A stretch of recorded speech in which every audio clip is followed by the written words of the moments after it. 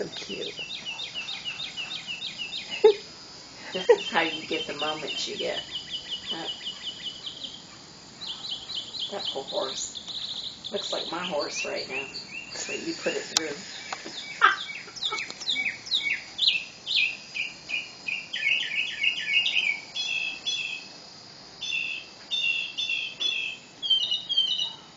Gail's wanting so bad.